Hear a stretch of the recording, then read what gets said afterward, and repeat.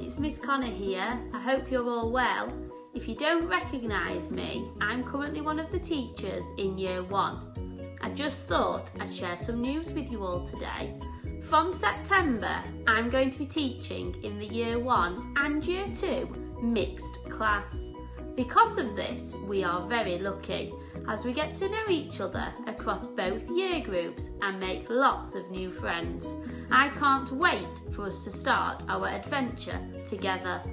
Don't forget to use this YouTube channel to listen to stories read by us, the teachers at Littlemoor. I hope you enjoy them.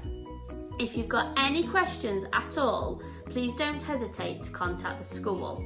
And if I don't see you before the summer holidays, have a lovely break and take care of yourselves. I will see you all in September. Bye for now.